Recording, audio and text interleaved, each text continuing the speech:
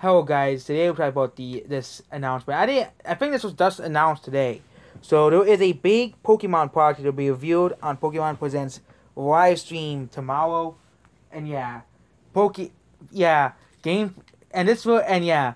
The problem and this and yeah, this is our problem with Nintendo's schedule. They they're not announcing anything that isn't Pokemon, okay?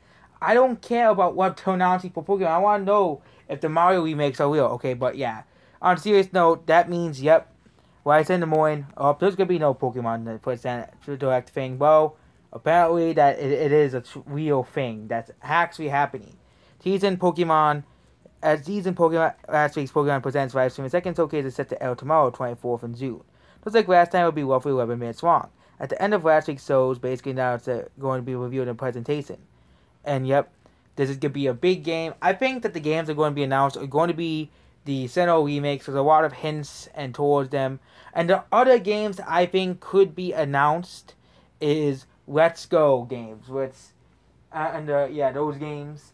Yeah, the games that I said ruined the Pokemon franchise because Pokemon Let's Go Pikachu and Eevee still sold 12 million copies somehow, and, those, and even then those games are still better than Sword and Shield, which somehow the worst entries in the Pokemon series are some of the best selling entries which is real. That Sword and Shield is one of the best selling entries in the Pokemon franchise. But yep, there is a Pokemon Presents coming in, and they said, and yeah, I didn't really watch the live stream.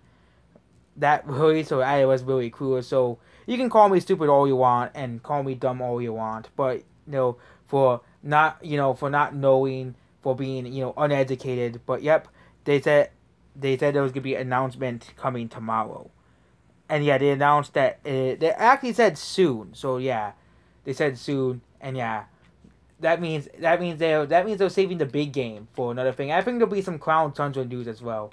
Wouldn't be surprised. But yep, the big game will be probably the most of the focus. Kind of like Sword and Shield was the main focus on the Pokemon Direct. They actually changed the Pokemon Direct to Pokemon Presents, which yeah, they're just distancing themselves from Nintendo Directs as a whole. But yep, that's basically it. Goodbye.